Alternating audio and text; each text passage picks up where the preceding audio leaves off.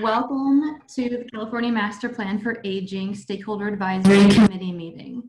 My name is Amelia Burns and I'm the project director for the Master Plan for Aging. So this is our first meeting since the stay-at-home orders and also our first entirely virtual meeting as today we are convening via telephone and webinar only.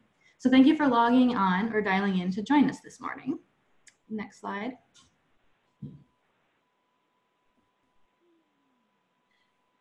All right, as I said, today's meeting is hosted by phone and webinar only, and we're offering closed captioning. You can click on the closed captioning button on the screen to activate that feature.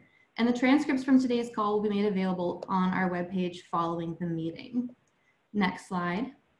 There will be for public comment during this call, and we will share the slide with instructions on how to make public comment again at 1010 per the agenda. And I'm now going to hand it over to California Health and Human Services, Dr. Mark Ghaly, for opening remarks.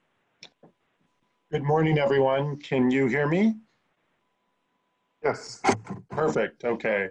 Um, so first, thank you all for joining. I see that we have uh, going up and down, but just over 200 participants, which is uh, pretty incredible. Grateful that everybody uh, is, is joining us. I think uh, for many of us, this is a uh, important moment when we begin to uh, restart some of the uh, major initiatives and efforts that we uh, were looking forward to at the end of last year and the beginning of this year, and really poised in California to take enormous leaps forward uh, through some of the opportunities in the budget and our various efforts. And um, as we continue in our uh, in our pursuit to do the best we can as a state with COVID-19 uh, around us and, and the threats uh, of that virus and, and its ability to um, really uh, wreak havoc on our communities uh, and our most vulnerable, including, including older Californians. I think this moment signifies to me an opportunity to keep looking forward to how we uh, use use COVID-19 and the, the tragedies and the uh, situation really for a future of opportunity. And I think what we have uh, uh, done at the agency and with our many departments is become more laser focused on certain aspects of how we protect vulnerable populations. And although we always have a long way to go and we're always trying to do better, I think there's been some momentous uh, uh, achievements uh, with our focus. And, and I will say, I think our uh, relationship and focus on skilled nursing facilities has uh, continued to increase. I think our um, ability to create programs to support individuals, uh, older individuals, and all, all of our vulnerable populations who are sheltering in place in their homes um, has been tremendous. And I think just the creative energy among many of you on the call with our state and local leaders have uh, really given us uh, sort of a substrate to move forward and work on. I think just recently, our focus on increasing testing among our skilled nursing facilities, which will soon extend to other congregate care facilities, is a, a very big step in the right direction. Um, our ability to relook at some of the options for um, uh, long-term supports in home instead of just in nursing home facilities for those who are eligible for skilled nursing uh, level care. I think that the start of that conversation is, is a very important one, but I don't want to at all ignore the fact that we are also struggling through and figuring out how uh, we continue to maintain our values and our focus on many of the most important things to all of us while facing enormous budget cuts and a budget forecast that, uh, uh, you know, not that others haven't seen it before or dealt with this before, but I think the, uh, the rapidity by which we're facing it is unusual and unique. And um, some of the choices in front of all of us, um, you, you, know, whether it's in the legislature, the governor's um, office, or other parts of our state and local governments that depend on uh, funding, uh, state and local funding to promote programs and support our safety net. Uh, there's a lot of tough choices, and I know that this group um, is going to be deeply engaged on some of the proposals and and um, helping uh, make comments and wade through that. And, and I know I participated in some of that already.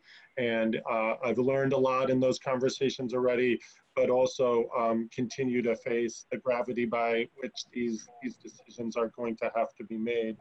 I'll also say that um, uh, many of you have reached out to the governor governor's office, the governor directly through letters and phone calls. And, and uh, despite his very busy and complex schedule, uh, Fig, who's on the phone call as well or on the Zoom, um, Kim and myself working with other leaders in the governor's office and the governor himself are trying to lock down a time uh, in his schedule to be able to have a conversation with a group of you because we know that that's important. And um, just like other groups are reaching out, uh, his, his commitment to this effort in the master plan for aging um, and really looking across not just our uh, financial resources, how they invest in the well-being of older Californians, but some of um, some of the other assets that we have uh, uh, sort of moving forward um, and how we align those and bring those together despite sort of having so many dreams deferred because of this budget problem. How do we continue to innovate and use the crisis of COVID to do some of the things that we know are going to be important transformations? How do we do those now? Um, and I'll just wrap up by saying, you know, despite all the focus on COVID, I received an email last night that I'd sort of not been dreading because I've expected it, but um, we got our first notice of a potential um, power shutoff event in the northern part of the state.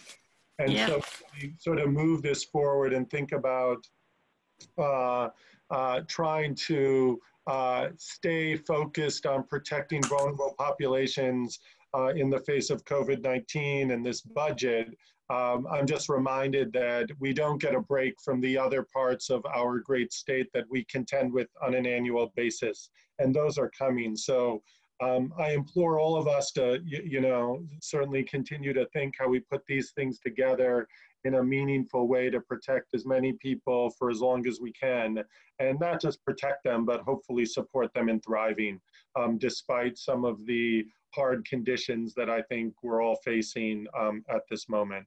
So I look forward to this dialogue. I'm grateful to know that you all are meeting and that Kim will, um, the, the one thing that is certain to me, having now worked even closer with Kim McCoy Wade, is that her resolve to keep this effort moving and work with each of you is greater than ever.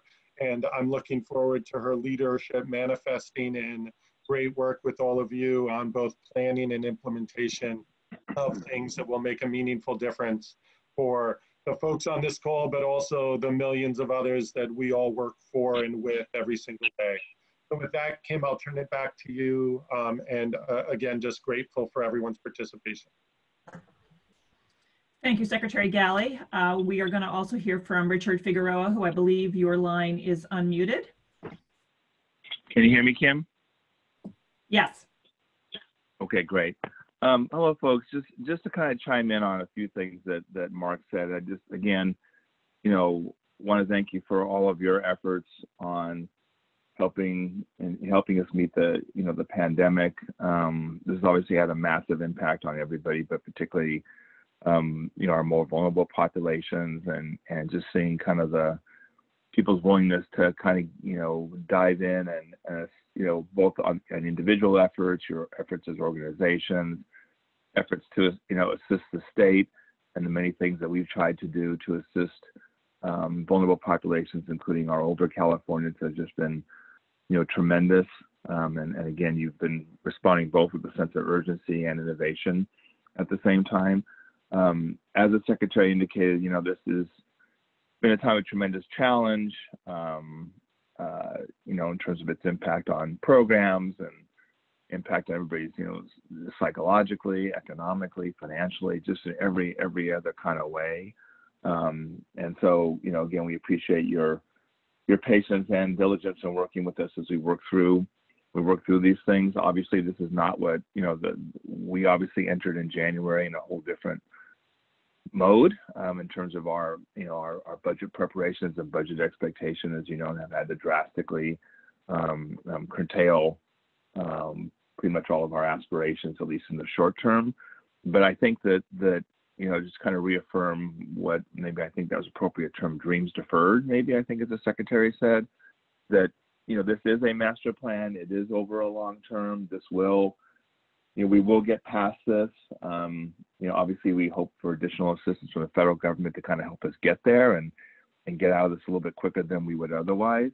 But we do appreciate and want to continue to work on a forward-looking document that does kind of identify those aspirations and goals. Um, you know, obviously, in the light of COVID, maybe there are other things that we would change or additions we would make or things that we've tried out that, that have worked or haven't worked that would help inform um, inform this decision. But again, we're very committed to the, the master plan process and appreciate your continuing um, um, you know work on it. The governor does look forward to seeing um, the results, and as Mark indicated earlier, are trying to work through the logistics of trying to set up a meeting um, so we can kind of continue the, the, the conversation. And then you know, again, I'll be listening today, obviously, to you know public and and feedback from the stakeholder advisory committee as well. But um, you know, again, just wanted to chime in from the governor's office our, our obviously continued commitment to the master plan process and and and your work. Thanks, Kim. Thanks, Kim? Fig. Yes, thank you very much. And thanks for your time this morning being with us. Um, Amanda, can you do the, Amanda Lawrence, who's the project manager at the Department of Aging, can you do the roll call of our uh, stakeholder advisory committee members? Yes, I'll start by reading off the names that we have here on the panelists um, to join via webinar. So we have Andy Imparato, Berenice Nunez Constant, Brandy Wolf, Bruce Chernof, Cheryl Brown, Mm-hmm. Craig Cornett, David Lindeman, Debbie Toth, Donna Benton, Heather Young, Jan Arbuckle, Janie Castillo, Jeannie Parker Martin, Jody Reed, Judy Thomas, Kevin Hingle, Christine Beth Hamilton, Laura Carstensen, Leandra Clark Harvey, Marty Lynch, Maya Altman, Mercedes Kerr, Nancy Fisher, Nina Weiler, Rigo Saborio, Shelley Lyford, Shireen McSpadden, Susan DeMarois. And that was everyone we have logged in through webinar. If I missed anyone and you've called in via the phone and you are a stakeholder advisory committee member, could you um, press star nine to raise your hand? This is Fernando Torres Gil as well. Hi, Fernando. Thank you. And Peter Hansel, thank you. Peter. Um, Bruce Roberts.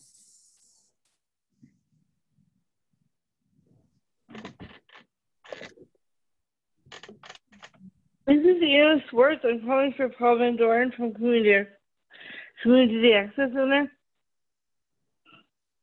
Thank you.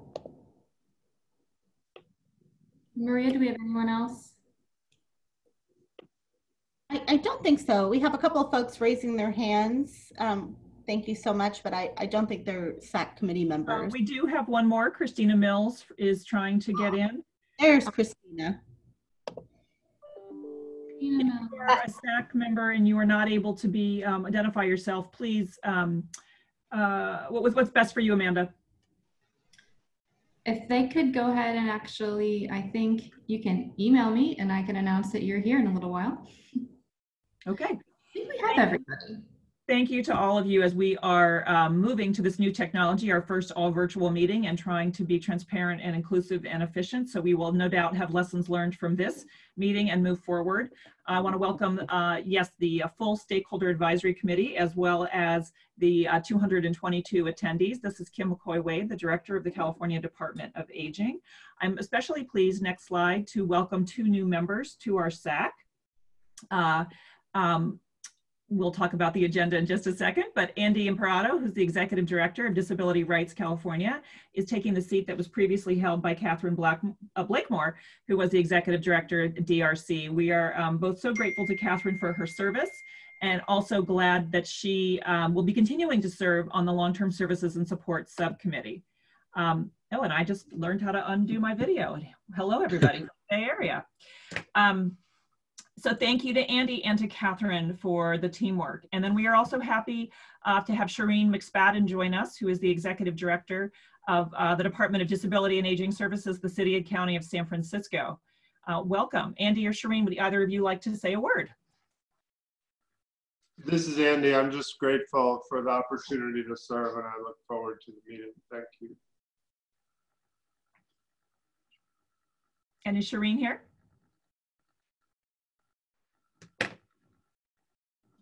Aha.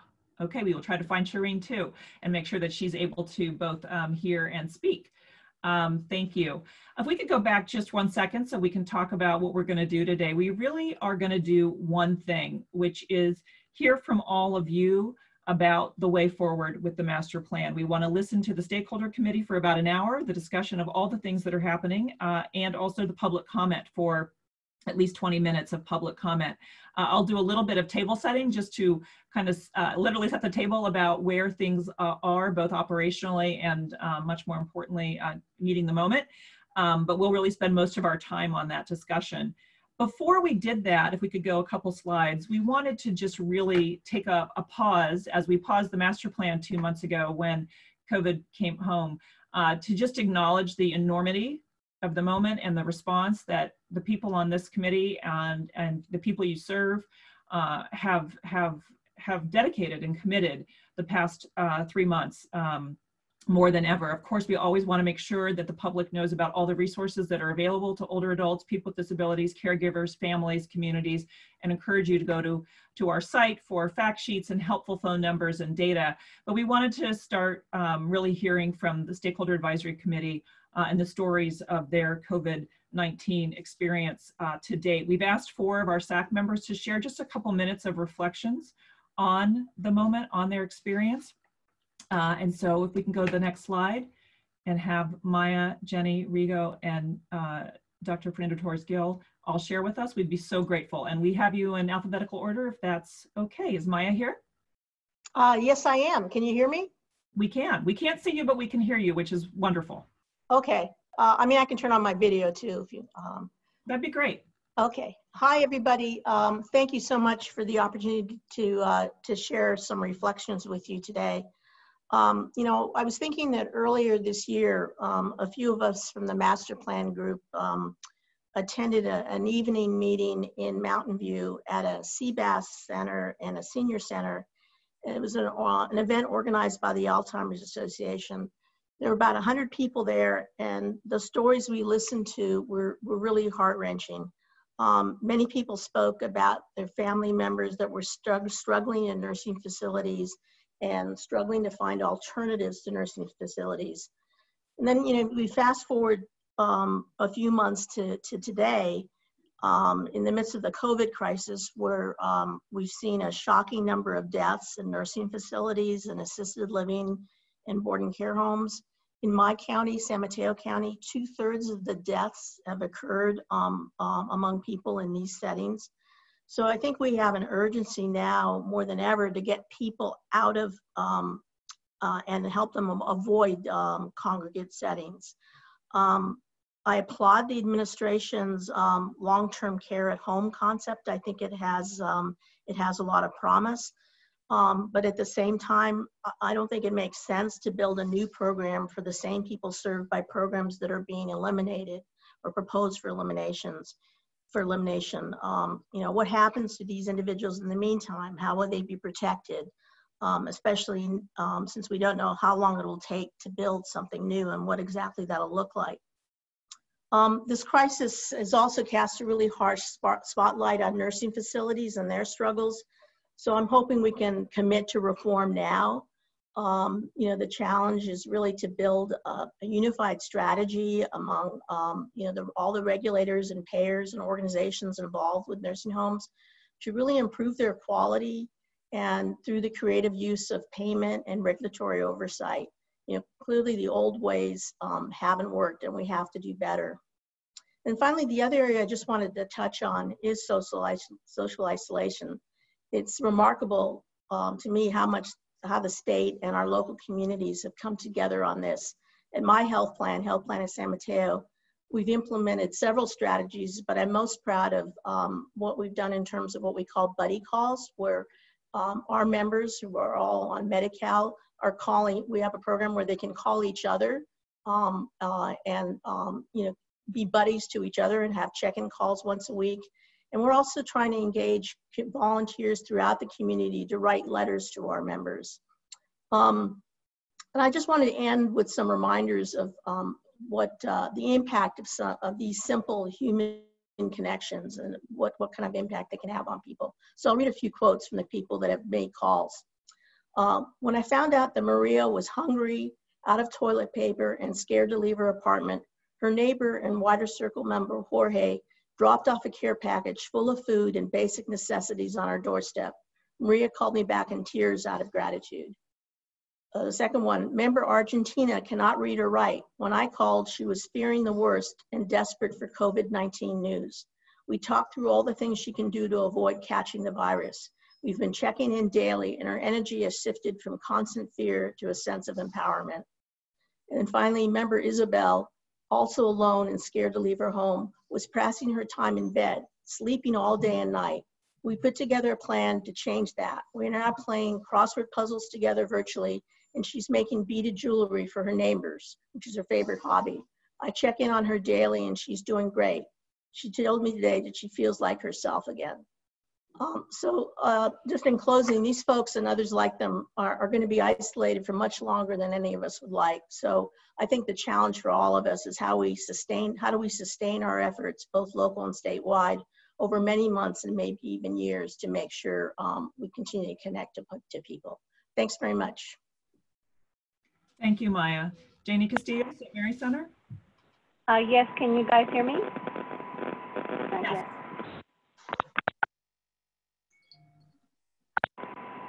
Can you hear me? Yes, Janie, we can.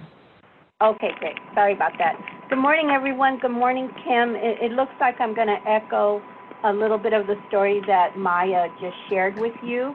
I do want you to, to direct you to a New York Times article that um, will be mail emailed to you today, or it was emailed yesterday from um, Amanda. It's about one of our seniors who stayed in our emergency shelter and it shares a deeper story about what it was like during the first stages of the COVID crisis here in West Oakland. Most, if not all, of our St. Mary seniors are at risk. They live with complicated health issues, some in less than optimal living situations. Uh, that some could probably be most. On March 11th, which was the week that COVID really hit in the Bay Area, I was on a field trip with 20 seniors uh, going to Allensworth, which is four hours away. We were the only visitors in the whole park. Um, and on the way back, the news reports started coming in about the pandemic. And I kid you not, it felt like we were driving back to hell. Very worry began right away. Within days, the center was closed and our winter shelter was open 24 hours a day, seven days a week turning it into a safe haven for 28 unhoused seniors. More than half of our staff was sent home to work. Um, several shelter in place extensions later, we had moved seniors into transitional and permanent housing. I was moved to manage the food program, which had been transformed to delivery only. Since April, we have delivered over 1,700 meals, over 500 bags of food, and very proud to say that we've delivered 23 free desktop computers to seniors and families sheltering in place. After interviewing several case managers for this report, we have the following to share. The effects of COVID was sudden for seniors who were left in shock and set adrift. SMC responded by calling each one, establishing resources for food, health care, and finances. We have seniors who are taking shelter in place very seriously and are practicing good habits to keep themselves safe. Then there are those whose anxiety has exasperated and are scared of going out to pay bills, like Maya said, scared to shop, to take a walk. To compensate, we use telephone uh, reassurance, pass out PPE with information on their use, and very patiently coax them into a more healthy response. We have seen an increase of mental health issues and increased loneliness. We have seen seniors who are exhibiting a spectrum of symptoms from prolonged depression to one attempted suicide. Because of the need for companionship, and this is something we're really worried about, some seniors are ignoring the warnings by going to visit family and friends. We have found that there is an increased need to advocate to get physical appointments when symptoms warranted. One of the case managers who works with our Filipino seniors have set up regular conference calls, and she helps them um, reach out to families and, and children who live in the Philippines. That makes a big difference. Many of our seniors are benefiting from the extra food stamps because they truly need it, and one of the local markets is doubling every food stamp dollar and offering curbside pickup, and I just want to clap for them. We have heard that some Asian seniors as, as you may know, are fearful of going outside. Yes, it's fear of contagion, but also of retaliation. I am to express to you how much we value our in home support care workers. All but one have stayed with their seniors, offering valuable connection and support. They are lifesavers, truthfully. So, these are three points I'd like to emphasize. We can split our seniors into three, two categories those that can operate a smartphone, tablet, compu- computer, therefore increasing their chances of staying connected, and those that can't. We need to move forward with our plans to build bridges to technology for seniors. This crisis has brought up the need for affordable internet, affordable devices, and training, training, training.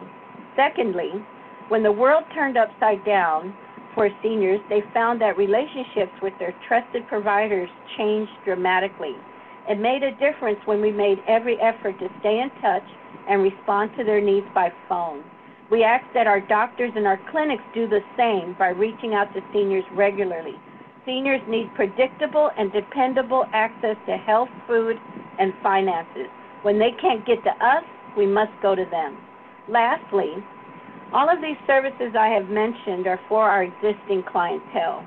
Our challenge, and I know we are not alone, is how do we open safely to allow new seniors to walk through our doors into our community center for lunch, and how do we open our winter shelter again?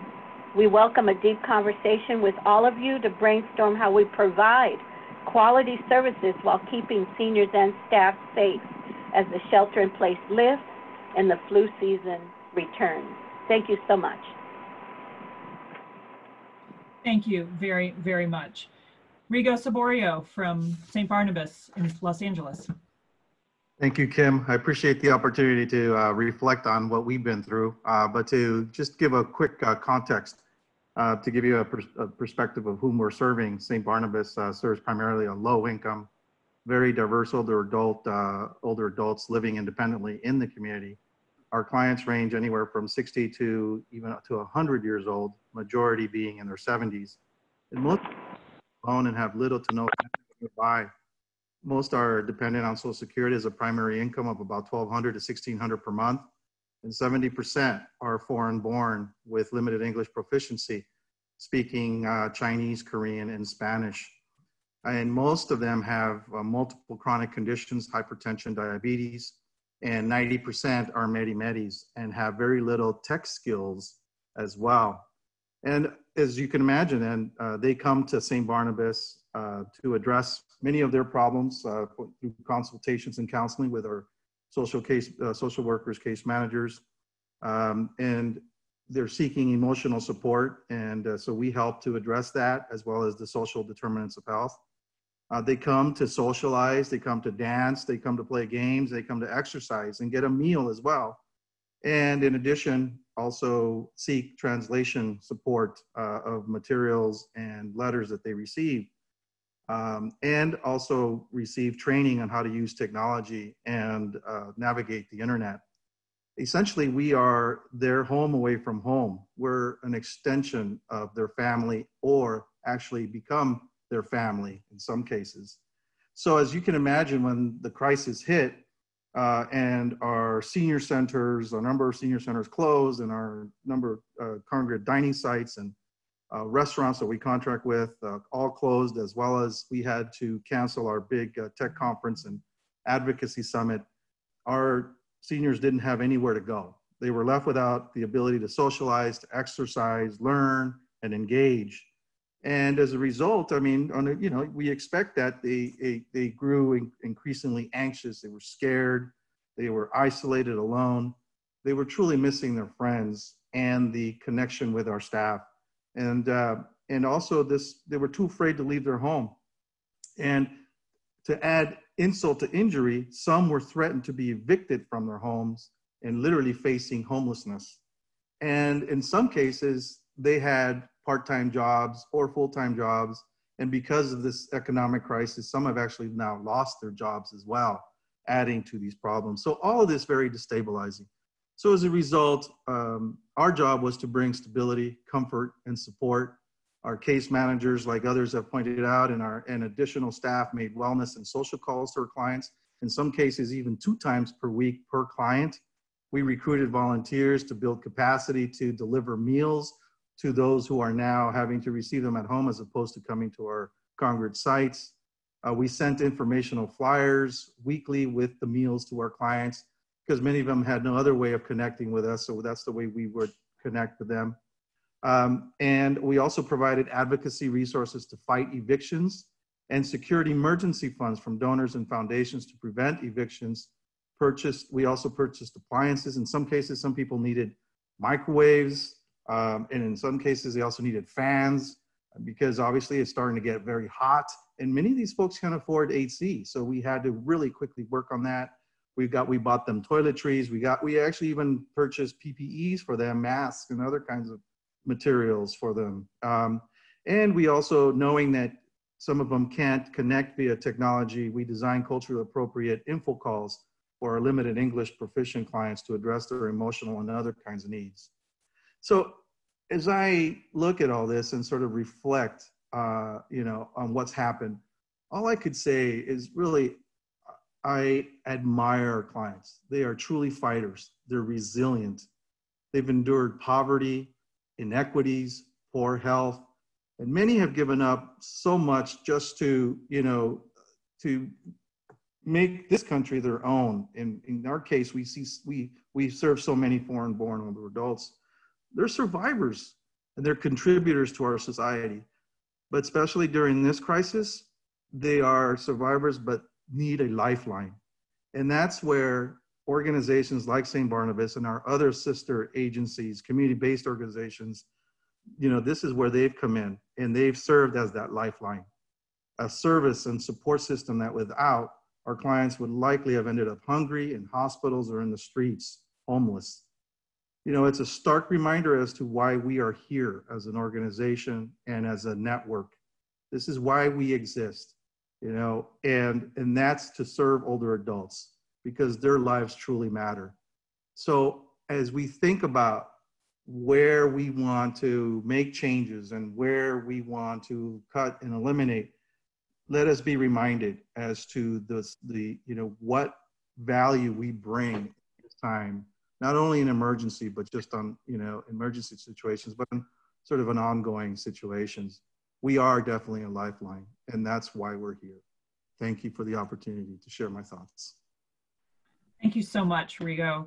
Dr. Fernando Torres Gil. Oh, thank you. I hope you can hear me. I'll, I'll do mine briefly first. Uh, let me commend Rigo, Janie, Maya, and all those who are on the front line and responding to the immediate needs of our constituents. And I'll take a, a little higher, not higher level, I'll take a different perspective. And first, on my small part, I have a set of older persons, 90 years plus, that I check in regularly. One, a 93 year old woman in East LA, being taken care of by her 71 year daughter.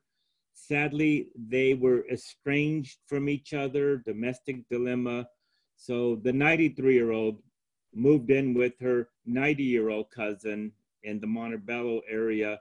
Now she's worried what if one of us gets sick? Who will take care of us? And those are the very people that Maya, Janie, and Rigo are supporting, and I'm doing my small part. But let me just add this other perspective. Um, I've been primarily uh, sheltering at home and teaching remote with our UCLA students, millennials, and Gen Z. And they are not only worried about their future implications in terms of jobs and their education, but they're now starting to realize that someday they may be older. Certainly, they have parents and grandparents. And so I've taken advantage of this terrible crisis to gerontologize them about not just what we do for today's elders and persons with disability, but how will they prepare for their future as they age, the lifespan perspective. And on that, I'd like to leave just two areas that I think are real crucial now for the future. The first, certainly the long-term care services and support. And Sarah and her group have given us a wonderful, important, effective guidepost and roadmap for this as one of our most critical areas today and in the future. But the other is reminding us that not only older adults have been most impacted, but persons that are low income, ethnic, and minority and diverse, especially African Americans and the Latino population. So we have to ask ourselves why is their health condition compromising them to make them more at risk? And we know it's about diabetes, it's high blood pressure, it's obesity. So, in looking to the future with our master plan group, I hope that at some point we can give additional attention to what is it about unhealthy practices and therefore unhealthy aging that is going to increase those at risk as this as this state becomes primarily majority minority so looking to the future those groups most at risk because of unhealthy practices and how we can reverse that long-term care. And uh, lastly, it's just fascinating, if I can add a little humor, to think that it's really the baby boomers for a lot of us, our cohort, that are now most impacted, most concerned. And I think back when we were younger in the 60s and 70s, and we never worried about growing older than 30. So it's interesting to see that we have a whole new constituency, our cohort, which is who we're serving. But of course, we now need to use the lifespan perspective to begin to prepare to be in a better situation 5, 10, 15, 20 years from now for those younger cohorts. So thank you again and appreciate all the work everyone is doing. Thank you to each of you for grounding us in the lived experience uh, across the state in diverse communities, uh, grounding us both in the loss and the need for lifelines and also the incredible resilience that uh, older, older adults, people with disabilities, families, providers, all of you are showing in this incredible moment. With that grounding, I want us to turn to the open discussion about Master Plan from Aging, next steps. I'm gonna, like I said, do about two minutes of just table setting and then panelists, you may raise your hand and we'll have an open discussion for about a half an hour. Next slide. Let me start with the basics, the timeline. Uh, back in the beginning, there was an executive order uh, in June, and we have been meeting and working uh, around the clock, many of you, uh, to head towards a final deadline of October 1st. And of course, we have now been on pause for about two and a half months and uh, working furiously on COVID. Um, March 15th, you see on the deadline, uh, on the timeline, excuse me, of the stay at home directive.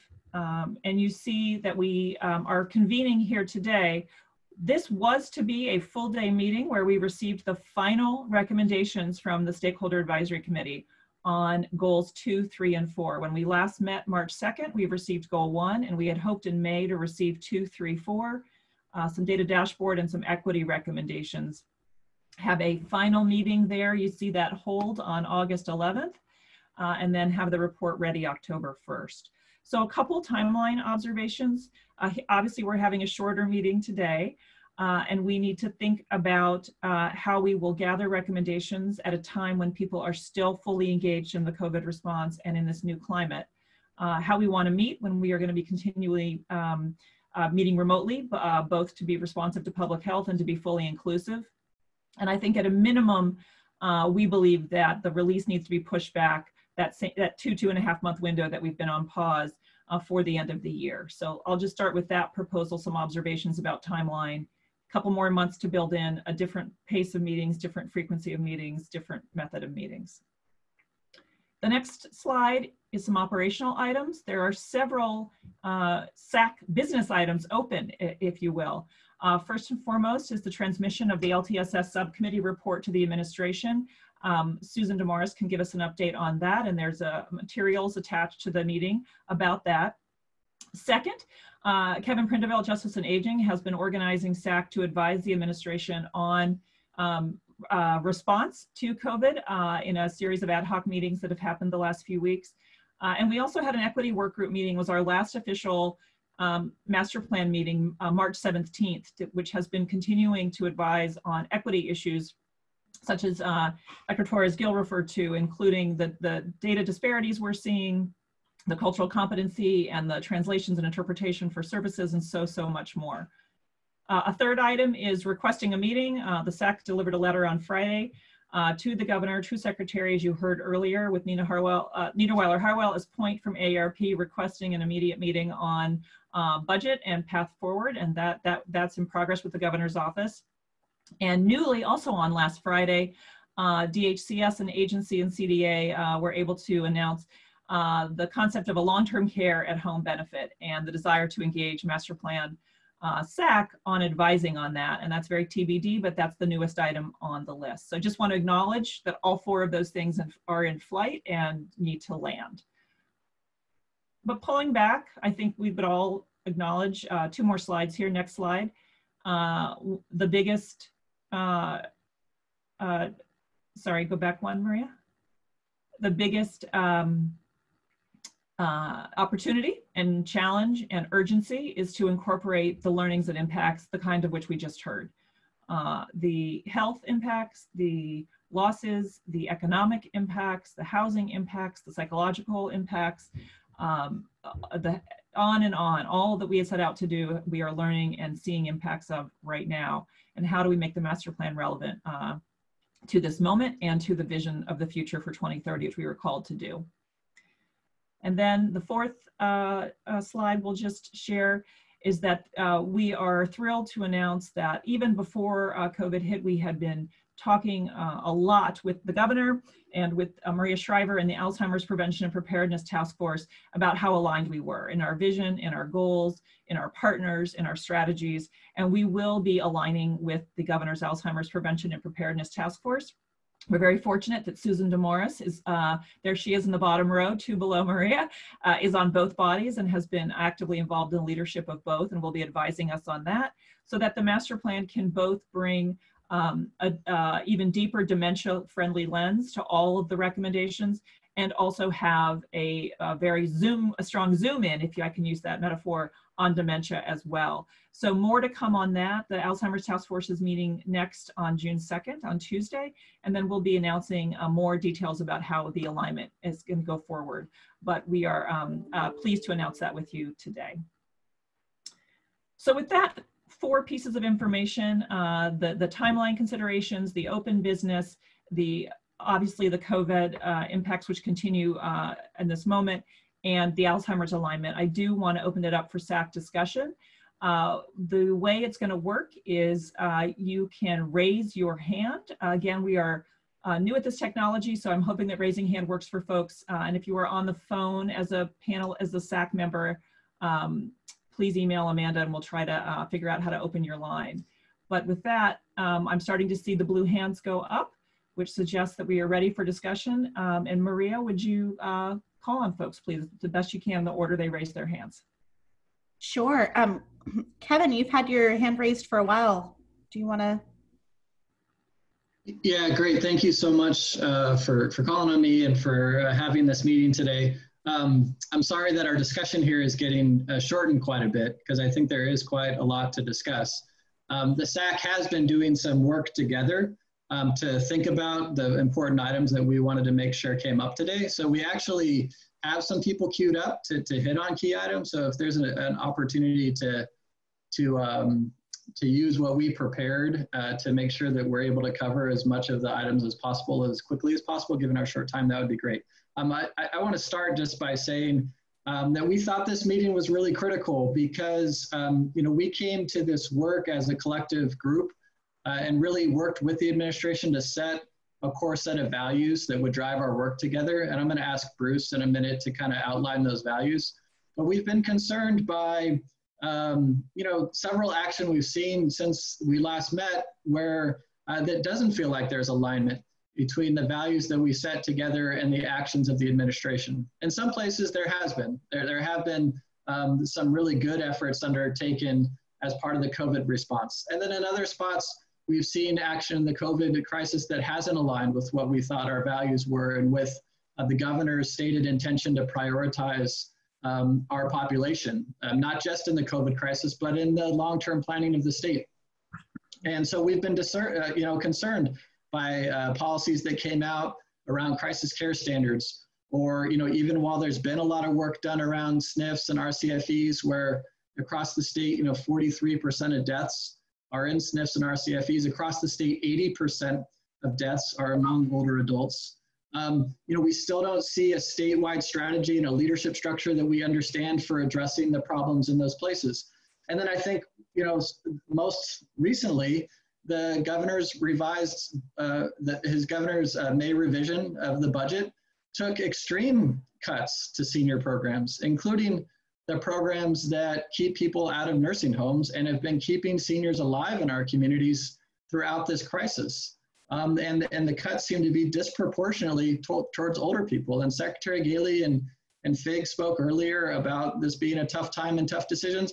But th this, these aren't decisions that had to be made. You know, the Senate pushed forward a plan last night that doesn't include cuts like this. Um, so we're concerned about this misalignment between the values that we thought we shared and the, the idea of this master planning process and, and then the actions of the administration. And so that's why we had asked for a meeting with the governor. We'd asked uh, almost a week ago. We haven't gotten a response. We're meeting today. Yesterday, the governor, at, at about the same time yesterday, was meeting with yoga studios and gyms to see how they were doing. Last week, he was meeting with Hollywood to see how Hollywood was doing. 80% of deaths are among older adults in this COVID crisis. You know, it's older adults and the workers that serve them that are most at risk, and he hasn't been able to find time to meet with us. So, you know, these are some foundational issues, I think, for all of us. We, have got some people queued up to go into more detail on each of these important pieces. And then I know there's also people raising their hands too, many of whom are part of our, our queue. um, but I thought, you know, if it, we had talked about we wanted to kind of start with values and, and, and if bruce is, is available to, to jump in here to kind of talk about where we're coming from from values. And then we had asked nina to talk about why we think it's important to meet with the governor. We hope that jeannie would talk a little bit about where we think we are in the covid response. We have a couple people like debbie and jody and rigo to talk about our concerns on the budget. Um, susan to talk about what's going on in the master plan and the work the LTSS subcommittee has done. Um, and then Marty and Donna to talk about uh, you know potential, but also a lot of questions we have around the LTSS at home benefits. Um, and then there's other important voices in our in our uh, communities too. They're going to want to jump in um, throughout. So and those were you know things we wanted to make sure we hit on. So maybe if if Bruce could kind of lead us off in the bringing us back to those important values that we're really you know, at the table to promote together.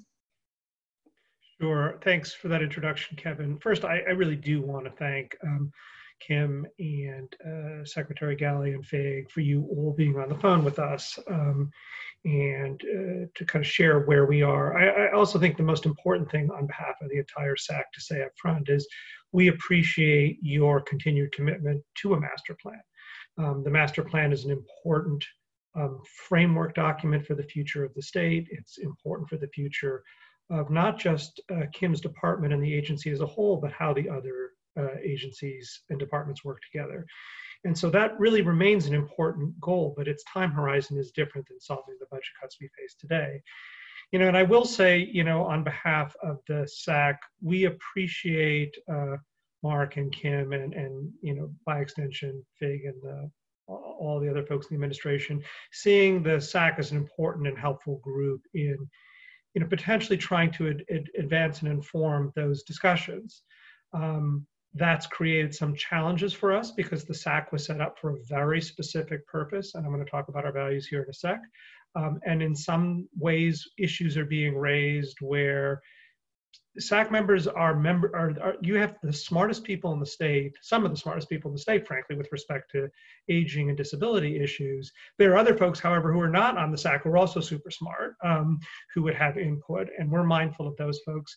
And many, many people on, on the SAC actually come from organizations that have uh, fundamental advocacy responsibilities, which is not actually what the SAC was created to do. It's not that we can't have a voice and a shared opinion, but it's it's actually meant to be the advisory group to you, Mark, and to the other department heads in the cabinet who are agency heads who are responsible for creating the master plan, and by extension to the governor.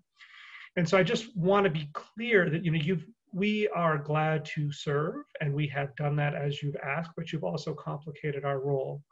And I just I think it's important for you guys to respect that as I sort of lean into the values for a sec. The thing I just want to re-emphasize is something that Kim said. You know, this is about respect and value. You know, in in both directions. And I do think it's time for the governor to show up and meet with us. And I, while having been a public servant myself, so I'll own this comment and not tack it to the SAC. Um, I think, um, you know, it, it, it doesn't you know, it, I understand the challenges of serious budget crises that you all face. And I think everybody on this SAC respects how difficult the position is that you all are in. But when sort of things come out of the blue, um, the crisis care guidelines um, and you know these cuts, they're, they're really problematic. I'm not telling you stuff that you don't know, but um, I think seeing, treating us and seeing us as partners um, is really, really important. And I think this group is willing to serve in that role. And I think that's why the values are really important to get to what Kevin asked me to touch on. You know, I think we lead with our values. So even if you have organizations here who, some of them who actively advocate, some of whom can't advocate. Sometimes you might have SAC members with differing viewpoints on a particular um, item. I think that this idea that our values are not um, wallpaper like they are in a bunch of organizations that just do them for the sake of having them, but this idea that choices are really important, and that means access, quality, and autonomy for folks, uh, the folks that we care about in the aging and disability community equity is incredibly important. And so this idea uh, that we need to focus on eliminating health and social disparities for all the reasons we know about is incredibly important. That we put dignity first and that disruption of uh, age bias and ableism uh, and discrimination is a really, really important part of this. And that we actually walk that talk, that we don't just say we believe in those things, that we do those things in our action and our planning that we focus on inclusion and accessibility and just how important that is for older adults and, and all uh, people with disabilities. That innovation and evidence-informed practice is really important. So we laud you, for example, and think starting to think through a new long-term care at home benefit. And the idea that we could get rid of a bunch of slot-based, waiver-based programs that don't reach many, many people who need them is terrific. And actually seeing it as a Medi-Cal benefit is great, but that doesn't solve the problem of the impacts of the proposed cuts, nor does it meet the needs of folks whose services are outside what that benefit might do, but still need some kind of community-based service. And you know, I guess I would finally, you know, end with this um, idea of partnerships. That this was always been about partnerships amongst local, state, and federal governments, philanthropy, and the private sector. I'd really encourage you to get back to that sense of partnership with us. And I think it's really there, but we really need to, to reinvest in it given the difficult times we've been in. And I think there's others we need to draw to the table, particularly the private sector and others to help advance this discussion. So Kevin, thanks. I'll turn it back to you.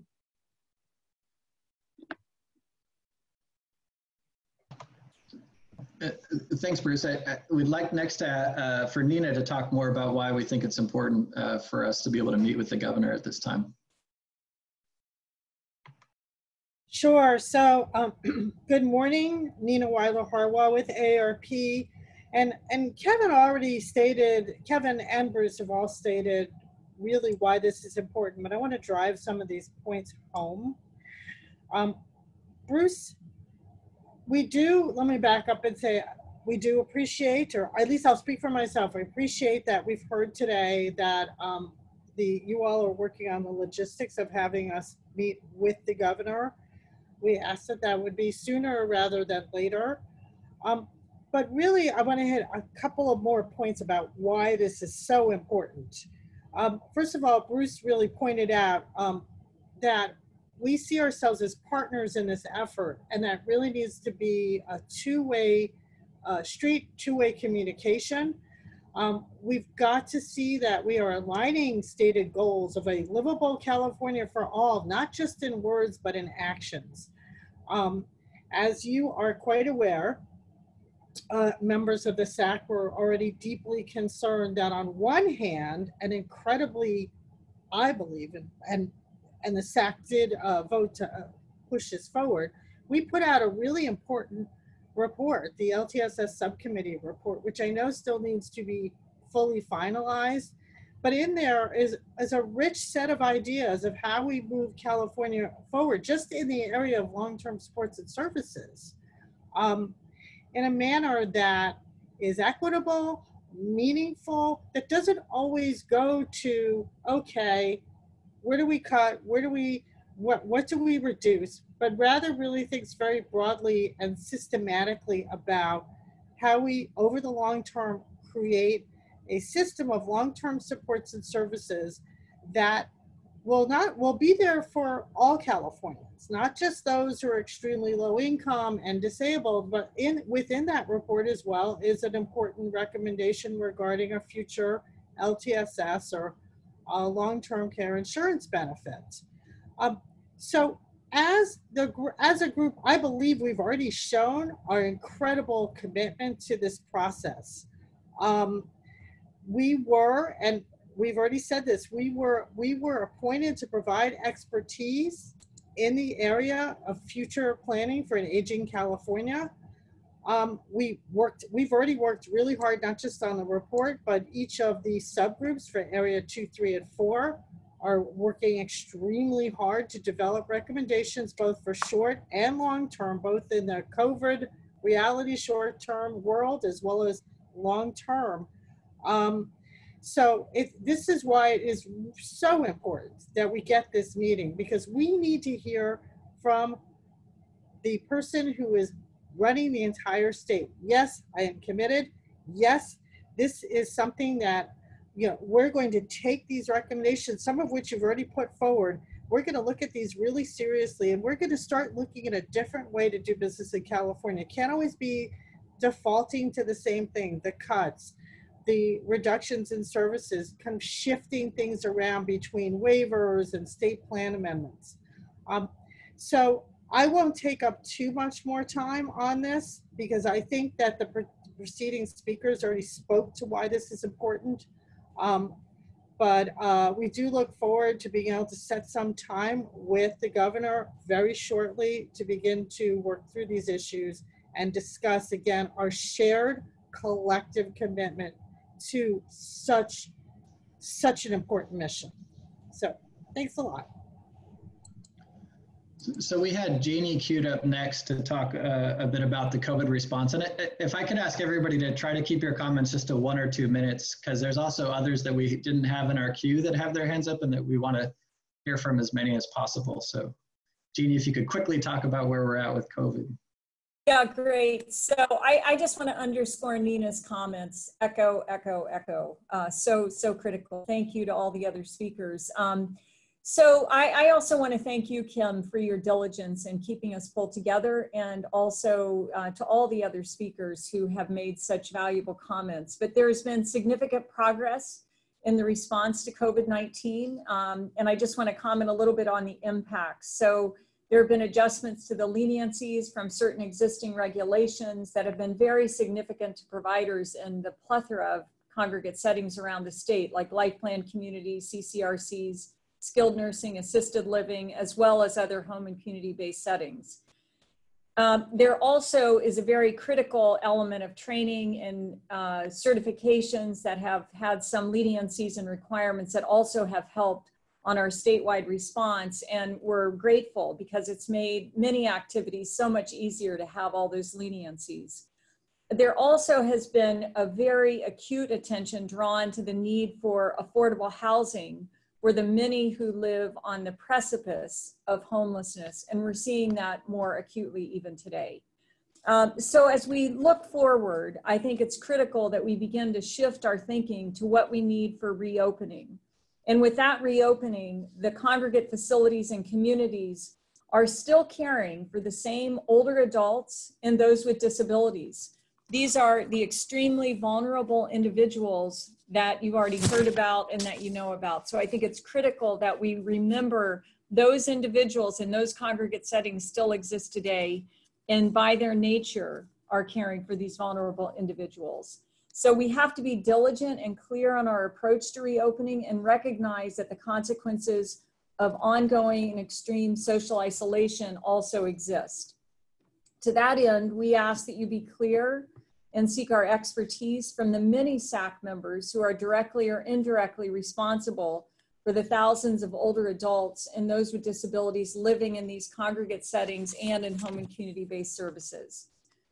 We know it's a challenging time to lead, but we ask a couple of things. One, that you make testing available and be clear on testing frequency, how it will occur when staffing is limited, and the importance of who is going to pay for it. Uh, number two, that you make available adequate PPE. As noted in a March 16th email, there are about 670,000 healthcare workers in California, according to the EDD.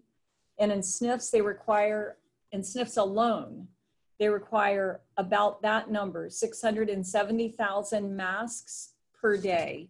And it's very difficult to acquire those. And even though supplies have become more accessible, accessible, surges in the disease, required infection control procedures, and upcoming natural disasters that we all deal with in our state annually, as Dr. Ghaly said earlier today, are going to limit availability. So we need to make sure that those things exist.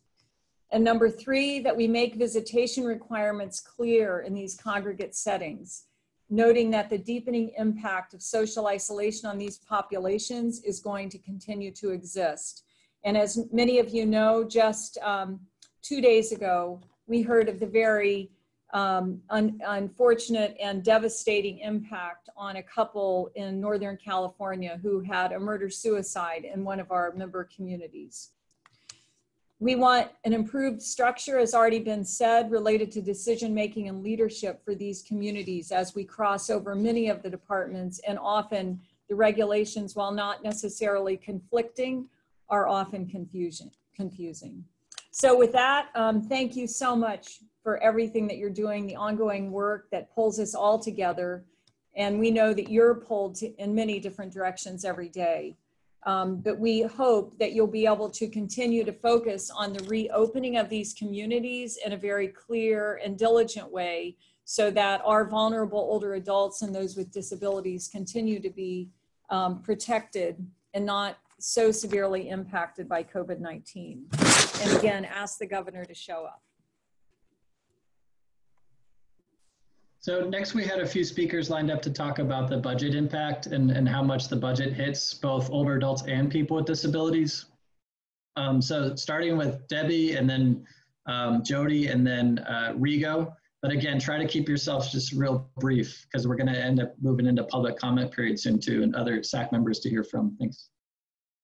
Okay, thank you, Kevin. I just want to, um, first of all, thank you, Kim. Obviously, um, this wouldn't have been your choice for how to move things forward. Um, but I do want to point out, as Kevin said, the Senate has provided a proposal that does not harm our population. And the governor's executive order was very clear about creating a California for all for people with disabilities and for people as they age it specifically called out the backbone of our services, which are community based adult services and the multi-purpose senior services programs, who pivoted on a dime to partner with the California Department of Aging to completely redesign everything that they're doing to serve the people that are most at risk for those skilled nursing placements and who are most at risk for death from this virus it is unconscionable that the administration would immediately go to cuts there. And so there's something in the system that we absolutely have to fix there. In MSSP, the population serves about 12,000 a year, 65 and older, who are eligible for skilled nursing placement. There have been 15 recorded cases of COVID and three deaths. Compare that to the statistics that Kevin said, and there's no excuse for this. So we need to at least address and fix this part of the system, recognizing that a California for all includes keeping the infrastructure in place first. Thank you. Great, and Jody? Hi, everyone. Um, I just want to start by just saying how grateful I am to everybody who is on the SAC, to Kim, to Secretary Ghaly, to Fig, to, to for helping um, continue this conversation, but especially to those people and organizations that have been on the front line. I, I just, um, I think we need to, we, we're certainly all here to support um, and encourage choice and dignity and uh, community-based service, especially in this time where the, the deaths are happening in, in um, skilled nursing facilities and we're trying to keep people out of them. The workforce, the IHSS workers, the home care workers, um, the food deliverers, the social workers, all of those folks have been keeping um, people home safely.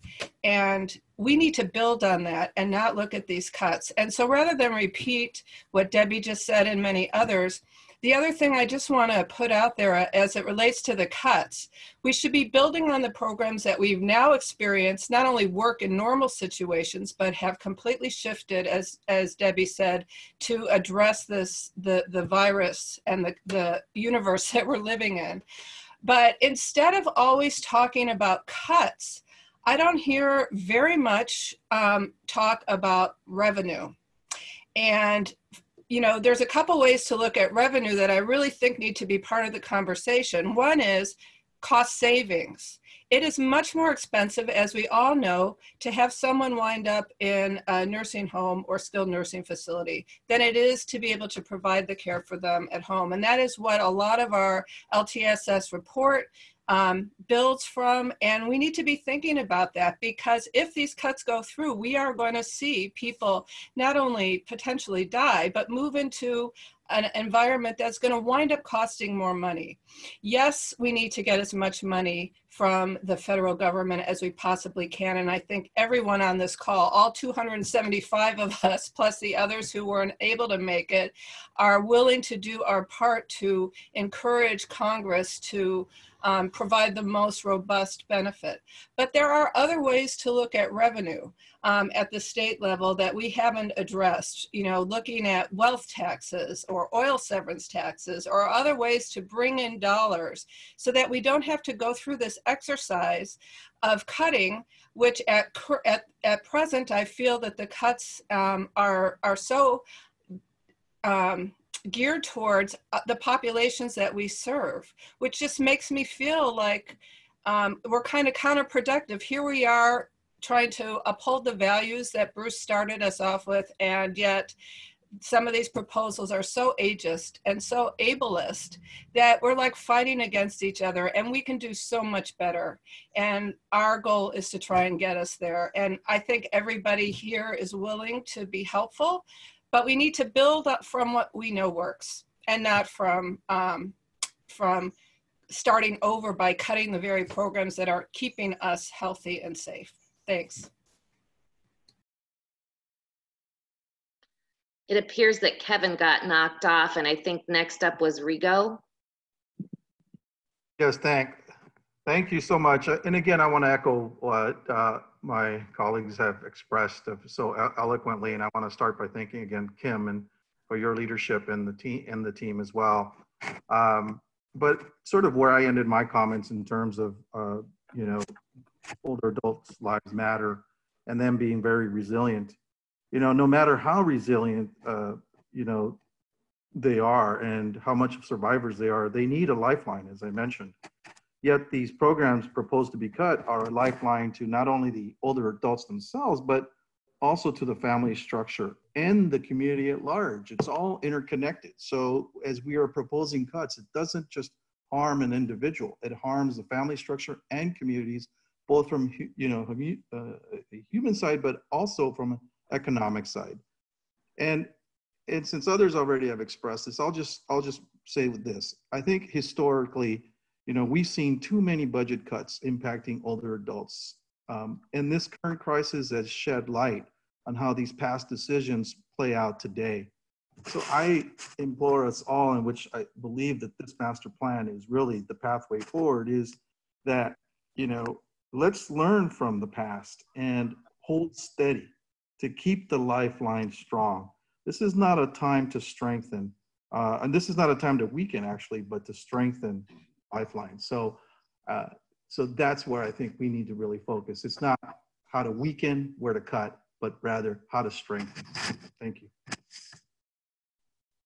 And I believe Kevin is back in, but he's as a, as an attendee instead of a panelist, so he's having some technical difficulties. I, my notes were that Susan and Marty and Donna were going to go, and I see that Andy has his hand up. So I'm wondering if we can do those four and then go to public comment. Do you think that works?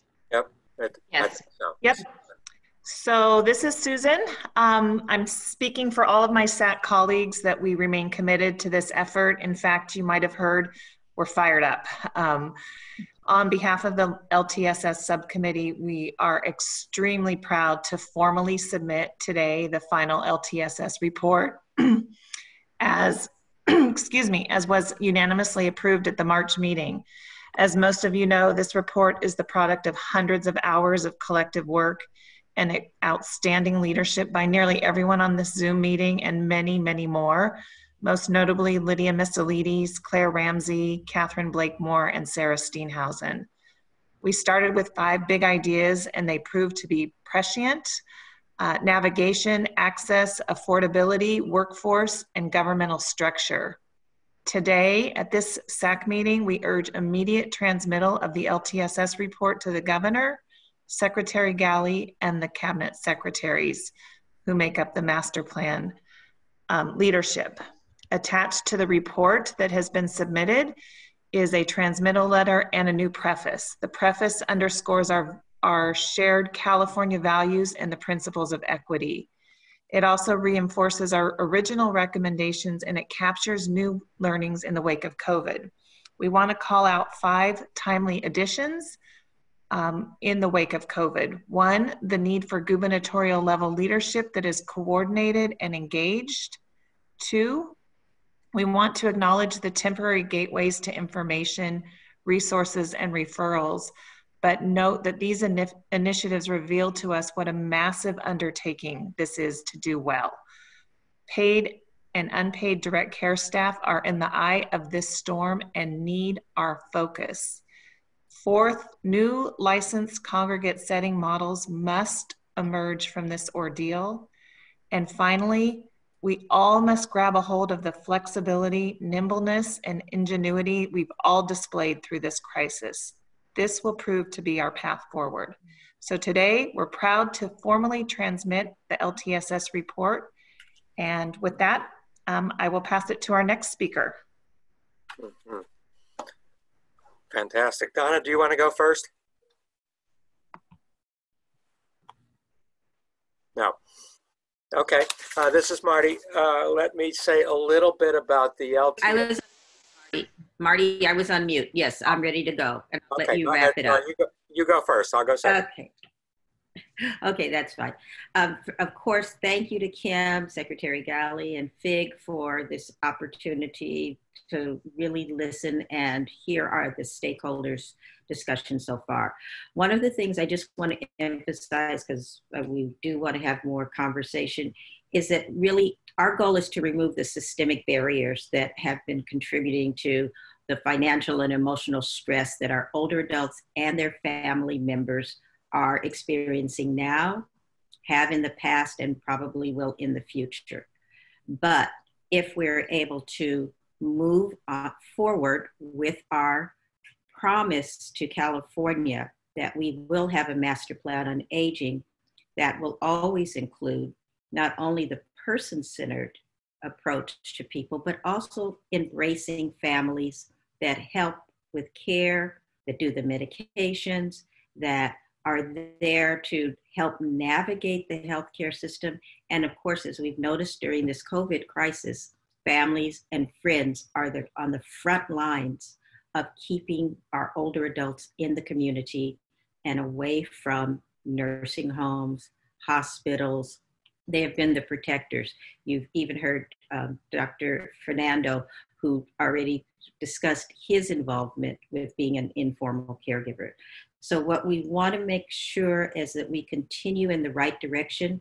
We know that the LTSS discussion will, is something that um, we have very few details at this point, but will, as we move on, we really are looking forward to being an integral part of that discussion and to remember to extend that out to other members of the aging um, community, but also to people that are um, working um, on other areas such as and with aging services, but also those that may be also working on just general family issues because half of the caregivers are working caregivers and they have to have supports in place like MSSP and CBAS so that they can work and thrive and care and provide that multicultural and multi-generational uh, care for our families and friends in the communities who are older adults. I'll move it on to, go ahead, Marty. Okay, thank you, Donna, and thanks everybody. Uh, I think on Friday afternoon, uh, Jacey Cooper, who's the head of Medi-Cal, and Brad Gilbert, the head of DHCS, uh, asked us to meet and rolled out the idea of a state plan amendment to do a statewide long-term services at home benefit.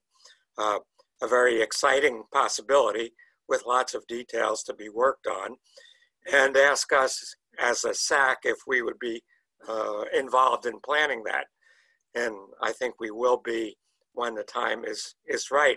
But I just wanted to say a couple things about it. Number one, it's very important to think about a concept that gets beyond the silos that we've had in the past and gets us a health and a long-term services and supports benefit that's fully integrated. That's one of the goals of the LTSS um, report that came out that Susan just talked about a minute ago. So getting to that fully integrated service that beats the silos and is easy for our consumers to use has been a long-term goal of almost all of us on the SAC. I think, though, we have to just remember that we can't do that until we solve the CBAS MSSP problem in the budget. Uh, we can't go for a period of time on the promise of an LTSS benefit that maybe we can work out sometime in 2021 while we're cutting key services to stay in the community. The, the promise of these benefits is to keep people out of nursing homes, to keep them out of the place where they're dying from COVID. And we have to keep all of those benefits in place and we have to make sure the baseline stays there. And then we go on to plan for this very exciting new benefit, which we will do. And we'll all together try to get that right so that it's a real improvement uh, and one that we would be proud of as the master plan moves forward. Thank you. Thank you, Marty. I do want to call on Andy and assure our public that we are still going to do the full 20 minutes of public comment. Our captioners and other team can stay uh, through past 1030 to hear the public comment. But uh, Andy, would you provide the last uh, comment, please? Thank you, Kim. And I, I want to just start by, um, Kim, acknowledging your leadership and, and the effort to make sure that disability rights is part of the conversation about the master plan for aging. And I appreciate how many people have brought up disability issues in their comments. I just want to close, and I'll be brief, by remembering the governor's press conference on the Sunday uh, where he announced the shelter in place and he was very clear that he was asking all Californians to make a sacrifice so that we could protect vulnerable Californians from this pandemic. And I, I would just like to take that theme and apply it to the budget and what we do to rebuild the economy in California. This pandemic has disproportionately affected people with disabilities, people of color, seniors, and when we think about the budget, we need to think about what are we doing to protect those populations, to make investments to support those populations, and what are we doing to ask all Californians to make sacrifices in order for that to happen? And that, to me, is the thing that's really missing in the governor's proposal. What are we doing as a state to make sacrifices to respond to this unprecedented fiscal crisis? And we need people that have done well to support people who are vulnerable. And we don't so far we haven't heard that message coming from the governor, and that's I'm hoping that's something we can see moving forward. Thank you. Thank you. Thank you very much, Andy, and to all of you for such um, thoughtful and carefully organized so we could hear so many different voices on so many different issues uh, in such a short period of time. I'm going to turn it to public comment. Uh, Maria is going to run that for us. We have eight people with their hands up. We have 20 minutes set aside. Uh, we urge you to try to do the minute so that we can hear from 20 people in 20 minutes, uh, but very much want to remind you that we can also take comment uh, by email, engage at aging.ca.gov, and if there's any accessibility issues, we can uh, do that over the phone or over mail, uh, but do want to hear from as many voices as possible. Maria, will you start us with the queue, please? Yeah, absolutely. We've got Tony who's going to um, go first. Tony, go ahead.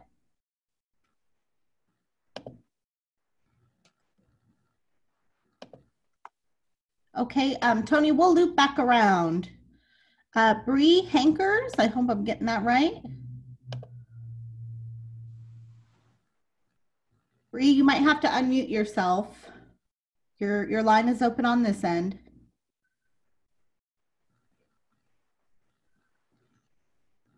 Sorry, I didn't mean to press the button. Oh, okay. Thank you very much. Um, Jeffrey?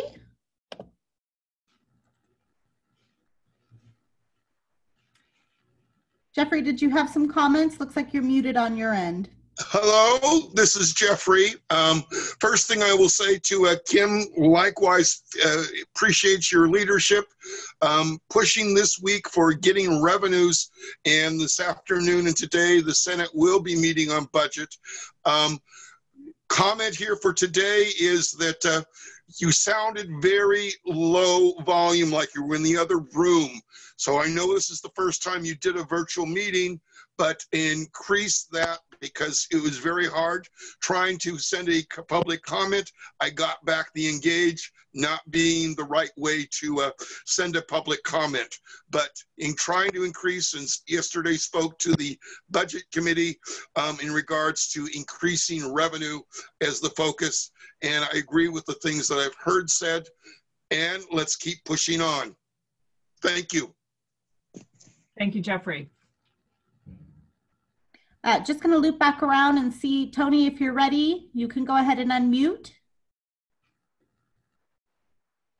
Okay, how about Colin? Hi there, can you hear me? Yes. Great. Um, I was a little bit late to the meeting, so I'm not sure if I missed this, but I wanted to see if there were any discussions about transportation or paratransit it certainly has come up from uh, our presenters sharing on the front line some of the, the challenges, and it is absolutely part of the master plan's framework. Uh, today has mostly been focused about the COVID response and the way forward, uh, less so than specific policy recommendations. But transportation recommendations are welcome anytime. Paratransit is absolute. Transportation overall is absolutely part of the master plan approach. Okay, great. Thank you. Um, next, we've got Sasha. Sasha Bittner? Hello. Hi. Um, I'm Sasha Bittner. Hello, I'm Sasha Bittner. And I'm with N and N. And I'm with Hand in Hand. the Domestic Employers Network. The Domestic Employers Network. I I live in San Francisco. I live in San Francisco. And I've employed and um, I've employed um, home care workers for over 25 years. And I've employed home care workers over 25 years. And Lindsay is going to Lindsay. I'm honored going to read my statement. Uh, and Lindsay Imai Hong is going to read my statement. Uh, first, thank you to the SAC for all of the hard work that you're putting in um, and that you have put in. Uh, we, uh, I, and Hand in Hand agree that now is the time to be shoring up our existing programs that enable seniors and people with disabilities to remain independent in their homes than to dismantle them. And it's clearer than ever that we are safer if we are able to age and live with dignity at home and not in institutions. So I'm here to urge you, Director Wade and Secretary Ghaly, um, and to continue to support members of the SAC to use your power to influence the governor to rethink the priorities in the budget and to not take from LTSS programs like IHSS, uh, MSSP, CBAS, SSI, etc., um, and to look instead for funding from programs like prisons uh, to use the rainy day fund and to create new revenue, new progressive revenues, such as uh, the Schools and Communities First initiative, so that we don't have to make cuts in the very social safety net that we all depend on. Thank you. Thank you. Thank you. Okay, next we've got Lorinda Reynolds. Lorinda, you may have to unmute yourself.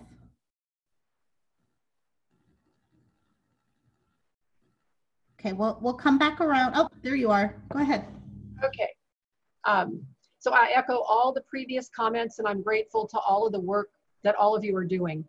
Um, to speak to Debbie's question, the cuts are rooted in internalized and externalized ageism on personal and institutional levels. Institutionalized ageism marginalizes older people and is also why older people become accepting of marginalization. It is insidious. In other words, people do not know they are engaging in it while they are doing it. And if they're in positions of power, it translates into changes in policy.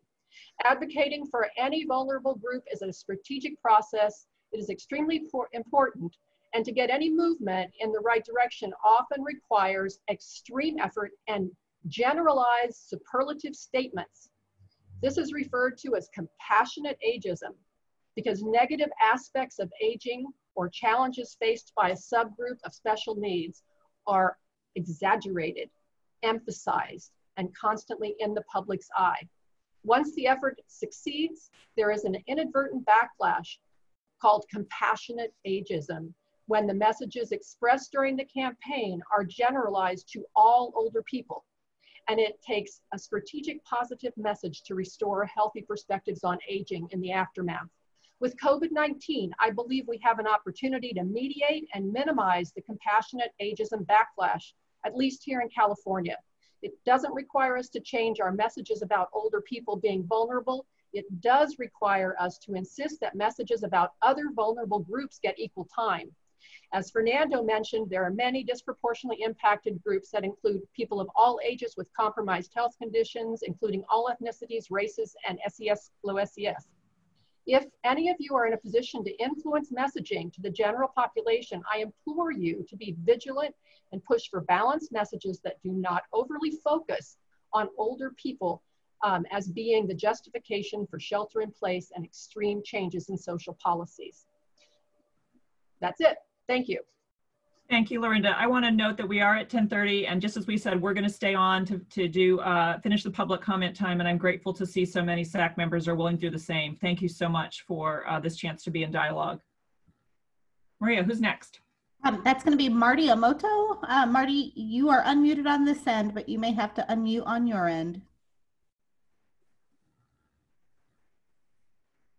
Okay, can you hear me now?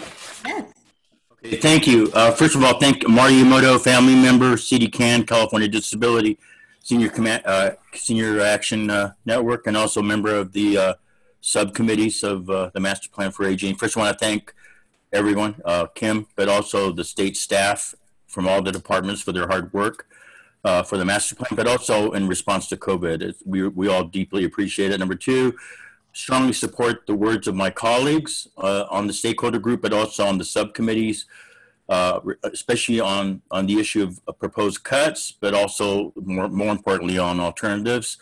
Third, this is, a, you know, as we all know, a, a public health crisis uh, that is unprecedented. It's a pandemic uh, with no end in sight. And so toward that end, strongly urge, as my colleagues have urged, uh, for the stakeholder group and the governor and the administration to really take a hard look at the recommendations and the long-term services and supports uh, subcommittee uh, recommendations. It provides guardrails, uh, you know, for better solutions, but it also provides some off-ramps against uh, bad ideas and cuts and on-ramps, you know, to a better future for us. So again, thank you to all of you who is there, who are there. Thank you.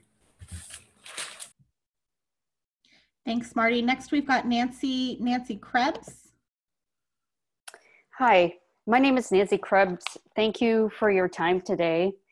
And I'm here to ask that you please preserve existing LTSS programs in the state budget and expand them with the Universal Social Insurance Program. And here's why. Active seniors with dementia, like my mom, face enormous costs when their desire to keep active results in the need for one on one care.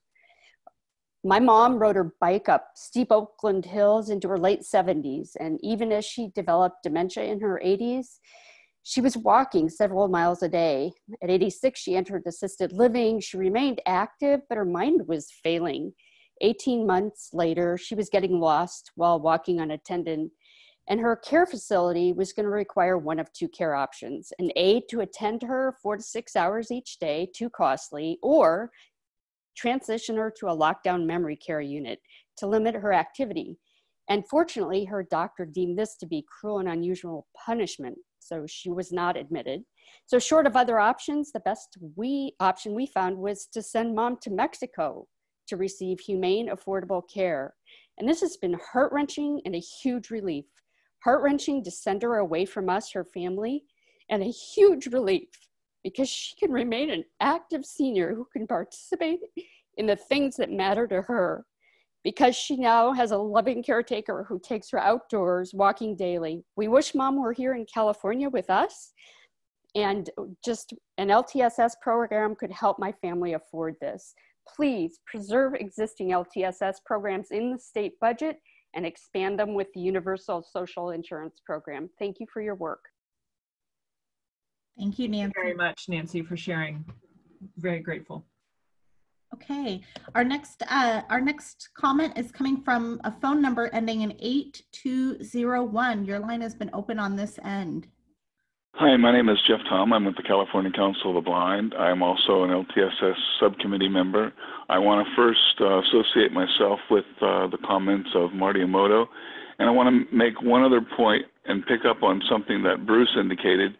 Um, uh, unfortunately, through no fault of its own, obviously, the SAC is not fully inclusive. There are communities that are not really represented on it, and one of them is those with with sensory disabilities, both those who are deaf or hard of hearing, and the community I represent, those with vision loss. Preferably, any meeting with the governor would include representatives of our communities. And if it doesn't, it is incumbent upon you and the SAC to do your best uh, to reflect our unique concerns and perspectives. Thank you very much. Thank you, Jeff. Next, we've got Russell. Russell Rawlings, your line's been open.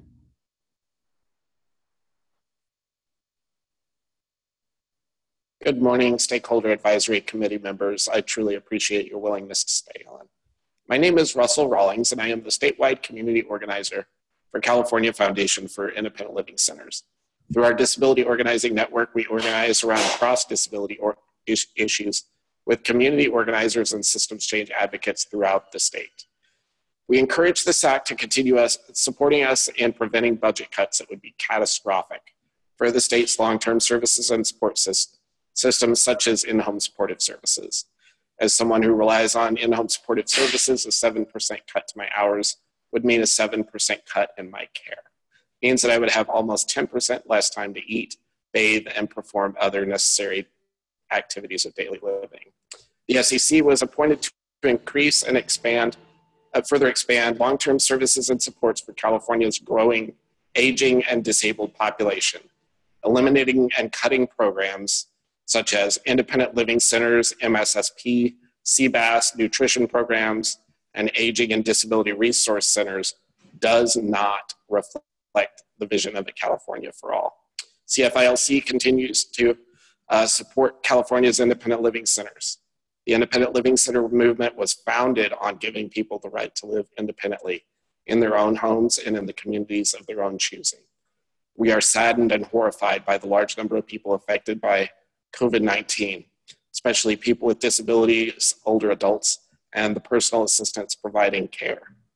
We urge the SAC to insist that the governor not provide legal immunity to nursing homes and other institutionalized settings.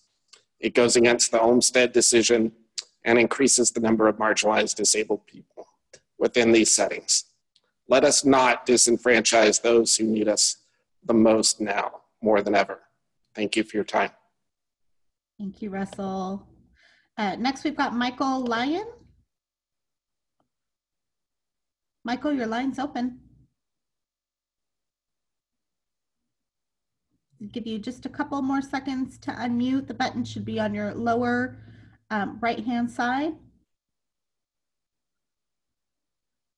Okay, we'll we'll loop back around. Christopher Langston. Yes, hi, thank you. Um, I appreciate everybody's efforts in this very difficult situation and as one of the funders of the uh, process at the, from the Archstone Foundation, um, I'm very grateful to the, everybody uh, for their continuing participation in these difficult circumstances. Um, one of the things that I've been raising uh, over the process that I think is particularly uh, useful potentially now is uh, the ability that we have if we work together and work coherently to draw down more federal money under existing law.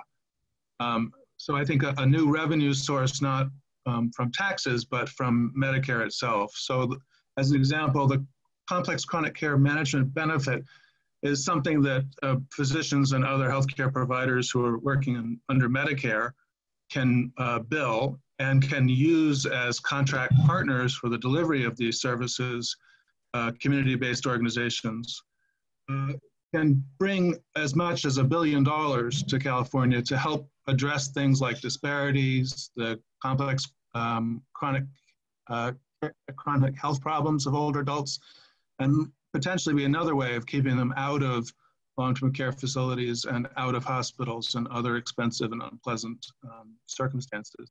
It would require support from the state for technical assistance, presumably also for legal assistance because the appropriate use of these kinds of codes is very unclear um, and somewhat frightening to providers.